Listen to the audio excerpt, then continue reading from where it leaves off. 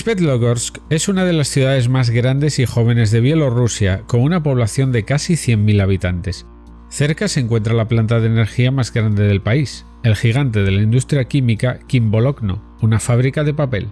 La breve historia de la ciudad tiene muchas páginas brillantes, pero algunos eventos aún se recuerdan con horror. A principios de los 90, la ciudad vive conmocionada por una terrible noticia. Uno tras otro, los niños salen de la casa y no regresan.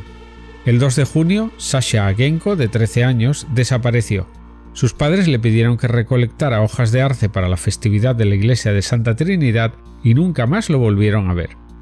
El 16 de abril de 1991, Vitalik Efremov, de 10 años, salió a caminar y no regresó. La policía no vinculó la desaparición de los dos niños durante un año, pero el asesino aparentemente se asustó y se escondió por un tiempo. El 20 de marzo de 1992, Seriot Sakurianenko, de 9 años, no regresó después de salir a jugar, y 10 días después, Vitya Golikov, de 13 años, desapareció. Ha habido rumores en la ciudad de que la denominada Hermandad Blanca que secuestra niños en Ucrania estaría detrás de estas desapariciones, también de gitanos que roban niños y de un grupo criminal que opera en la ciudad. La investigación no encontró ninguna pista ni ninguna evidencia. La copa de la paciencia se desbordó cuando Tolia Radko, de 13 años, y Vasia Nosov, de 9 años, desaparecieron en el verano. El pánico estalló en Svetlogorsk. Los padres no dejaban a sus hijos en la calle. Cartas pidiendo seguridad llovieron sobre la policía. El trabajo de los investigadores era poco envidiable. Primero porque la búsqueda por ley comenzaba a los tres días de la desaparición, y segundo porque las acciones de investigación, inspecciones, interrogatorios no eran visibles para el público. Todo esto generaba una impresión de inacción por parte de los organismos encargados de hacer cumplir la ley. Los anuncios de menores desaparecidos se publicaban literalmente por todas partes, en casas, tiendas, paradas de autobús. La policía estaba tratando de llamar la atención de los ciudadanos. Batin Bechnovets, asistente de radio y televisión de Svetlogorsk en 1994, recuerda: Cuando desapareció el sexto niño, la gente literalmente explotó. Los padres se reunieron frente al edificio del Comité Ejecutivo del Distrito y preguntaron a las autoridades de la ciudad qué hacer, cómo vivir en el futuro. Las familias preocupadas establecieron comités de autodefensa y se turnaron para enviar y recibir a sus hijos en el camino a la escuela. La prensa también se activó. Era obvio que solo niños de una edad comprendida entre los 9 y los 13 años eran el objetivo de las desapariciones. Fotos de los niños desaparecidos aparecieron en las páginas de todos los periódicos locales. La información fue publicada en los medios de comunicación regionales y nacionales. La situación fue informada a los líderes del país. A la ciudad fueron enviados los mejores investigadores de la Fiscalía y agentes de la Oficina de Lucha contra el Crimen Organizado del Ministerio del Interior de Bielorrusia. Todo el personal de la milicia de Svetlogorsk fue activado. El teléfono de control seguía sonando. Cada pista era revisada cuidadosamente. Los policías trabajaron sin parar en busca de cualquier evidencia. Todos esperaban encontrar a los niños con vida, pero a mediados de 1993 llegaron las primeras noticias desesperadas. En el bosque, cerca de la ciudad, los buscadores de setas encontraron el cuerpo de un niño. Según los restos, el examen médico forense estableció que se trataba de un niño de 8 a 10 años que había fallecido hacía unos tres meses.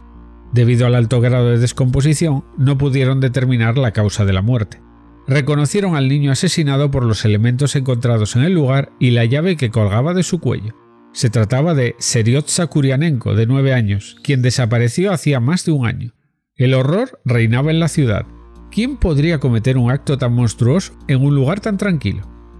Después del colapso de la Unión Soviética, Svetlogorsk recibió el estatus no oficial de la capital de la drogadicción de Bielorrusia.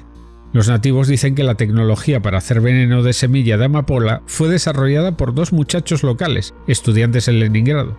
Pronto apareció el SIDA y la ciudad quedó marcada con un punto rojo en el mapa del país. El problema no ha sido resuelto hasta ahora. Las jeringas usadas son comunes en las calles. Por eso hubo muchas versiones en la investigación sobre la desaparición de los niños. El perpetrador podría ser un drogadicto desesperado. han surgido rumores de que por otra dosis los adictos se veían obligados a secuestrar niños para venderlos a países occidentales para trasplantes de órganos. Después de encontrar a la primera víctima, se desechó esta versión. La policía y los ciudadanos no pararon de registrar los bosques alrededor de la ciudad hasta que el 27 de diciembre de 1993 los perros de unos cazadores locales encontraron el cuerpo de otro niño enterrado en el suelo. Los restos pertenecían a Anatoly Radko, quien desapareció en el verano de ese año. Esta vez, sin duda, determinaron la causa de la muerte, numerosas heridas de arma blanca. Los médicos forenses se sorprendieron. Antes de que lo mataran, el niño fue violado brutalmente. Los investigadores estaban convencidos de que un maníaco sexual estaba causando estragos en Svetlogorsk. La mayoría de los niños desaparecidos vivían en el tercer distrito. La investigación se centró allí. Pero, ¿a quién buscar? ¿Una persona o varias? ¿El delincuente es joven o viejo? Los investigadores recurrieron a psicólogos en busca de ayuda, quienes compilaron un perfil de supuesto criminal. Ilya Panasenko, fiscal forense de la Fiscalía de la República de Bielorrusia en 1994, recordó el análisis mostró a un hombre joven, cuidadoso, que tomaba todas las medidas para evitar responsabilidades, que vivía cerca de la escena del crimen. Se realizaron miles de interrogatorios, se recopiló diversa información de la población de la ciudad, pero no se encontró ningún rastro. Todos los sospechosos tenían coartadas. Oleg Latishev, investigador principal de la Oficina para combatir el crimen organizado en 1994, dijo, la gente estaba tan asustada que si veían a un hombre con un niño en el bosque, llamaban a la policía. Luego resultaba ser un padre con su hijo, pero lo verificábamos, no perdíamos ninguna posible señal. En el transcurso de la investigación, revisaron el expediente de los menores desaparecidos en los últimos años, así como los casos de violencia contra niños. Información interesante llamó la atención de los investigadores. Varios años antes de la desaparición del primer niño de Svetlogorsk, un niño menor de edad fue violado en la cercana ciudad de Rechitsa. El criminal lo dejó con vida.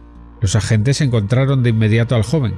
Relató cómo una noche de mayo de 1990, mientras estaba esperando el autobús en una parada, una motocicleta se detuvo junto a él. El joven que la conducía pidió ayuda para armar su tienda de campaña en el bosque. Tan pronto como penetraron en el bosque, el hombre le puso al niño un destornillador en la garganta y le dijo que se callara. El niño confirmó que tras la violación el criminal se disponía a matarlo, pero de alguna manera logró apaciguarlo con lágrimas en los ojos. El niño recordó al maníaco, un joven de unos 20 a 25 años, estatura baja, con cabello castaño, llevaba una camisa de marinero, montaba una motocicleta de la marca Java. Esta fue una pista decisiva. En la década de 1980, Java encarnó los sueños del pueblo soviético. Con un salario promedio de 150 rublos, el vehículo costaba 650. La gente ahorraba durante meses para comprar la codiciada motocicleta. Cómoda, de fácil manejo, servicio económico, velocidad hasta 130 km por hora. En resumen, Java no era para todo el mundo y la investigación se centraría a partir de ahora en los posibles propietarios de la ansiada motocicleta. A partir del testimonio del niño, se hizo un retrato robot del sospechoso. Los investigadores recordaron un detalle importante en el caso de la desaparición de Vitaly Efimov en 1991. Un testigo dijo que el niño se subió a una motocicleta con un hombre desconocido y partió en una dirección desconocida. El testigo logró memorizar los dos últimos dígitos de la matrícula. Esta información fue difundida a todas las comisarías de la zona. Todos los propietarios de motocicletas fueron investigados, pero sus matrículas no coincidían con los números que se poseían decidieron revisar la base de datos de motocicletas de esta marca en toda la región y encontraron la motocicleta que coincidía con los números de la matrícula en la población de Bobruisk. El propietario se la había comprado a un joven de Svetlogorsk. Cuando le mostraron el retrato robot del sospechoso, el hombre lo reconoció como el vendedor. Su nombre, Igor Mirenkov. Inmediatamente se recopiló información sobre esta persona. Los investigadores se sorprendieron. Mirenkov fue detenido por la policía el 27 de abril de 1994 por cargos de robo de combustible. Admitió haber sustraído 170 litros de aceite. También por fraude a una compañía de seguros. Vendió su automóvil en partes, pero lo declaró robado. Compró un coche nuevo con el dinero obtenido. El hecho de que atraparan a un estafador y un ladrón no significaba que fuera un maníaco asesino. El investigador Latishev dijo que el sospechoso era bastante común, un hombre completamente invisible entre la multitud pero era especialmente locuaz, hablando de diferentes temas. Confirmó que había vendido su motocicleta, pero negó categóricamente su participación en la desaparición y asesinato de los niños. Dijo que tenía una coartada de hierro. Durante la comisión de los crímenes fue condenado por agredir a una mujer y robar, y pasó tres años en régimen de dormitorio en la prisión de Hommel. Allí las reglas eran crueles, levantarse temprano, trabajar todo el día, registrarse por la noche. La falta de comparecencia equivalía a huir y conducía inmediatamente a ser enviado tras las rejas. La administración del dormitorio respondió que Mirenkov nunca había roto la orden, trabajaba concienzudamente y tenía un carácter positivo.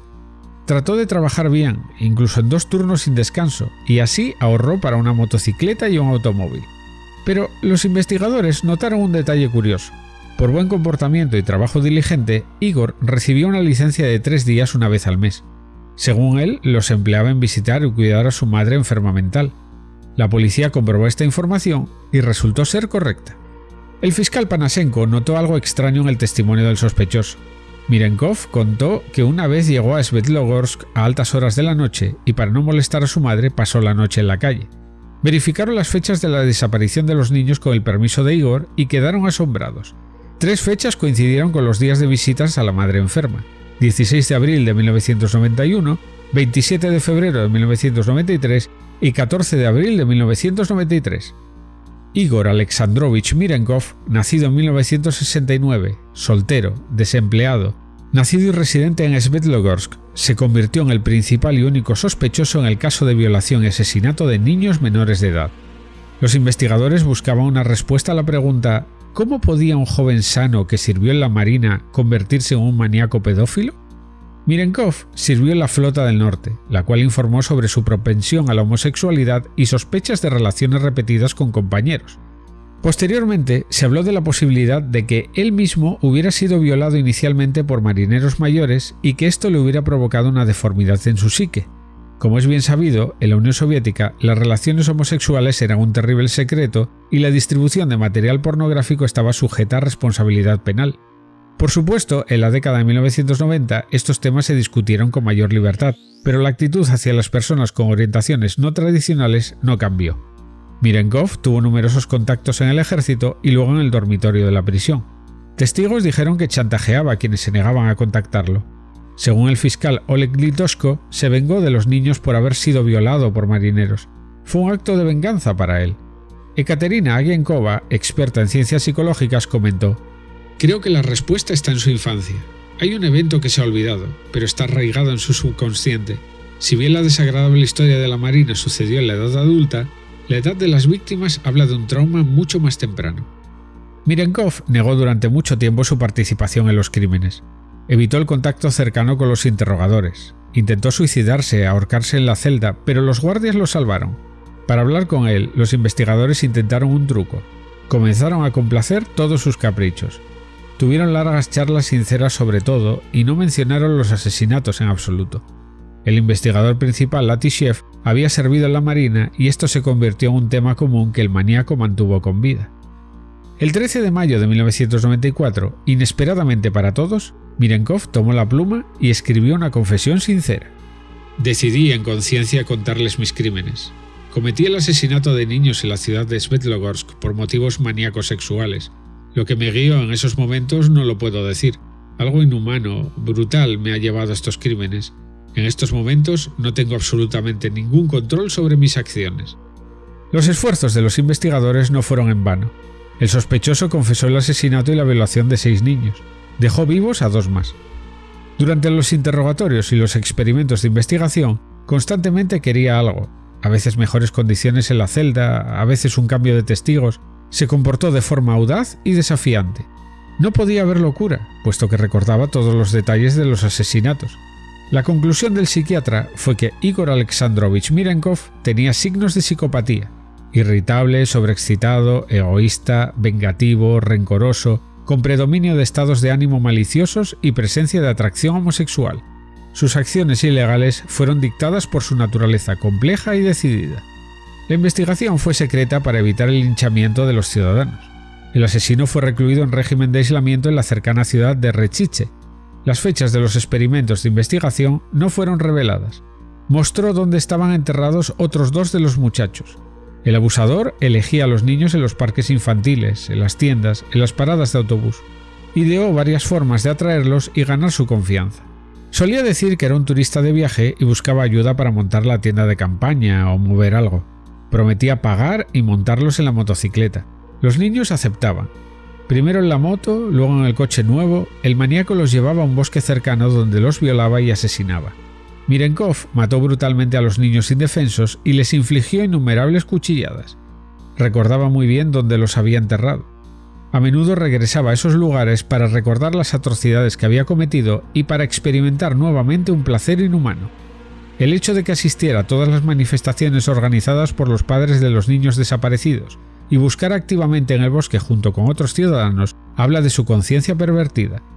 Disfrutaba escuchando las historias del presunto criminal y le excitaba la idea de ser intocable. El caso secreto Mirenkov se conserva en los archivos de la milicia con el número 13. La investigación duró alrededor de un año. El juicio estuvo pendiente en el Tribunal de Distrito de Svetlogorsk durante más de dos semanas. Hubo una verdadera conmoción durante las audiencias y el acusado permaneció bajo fuerte vigilancia.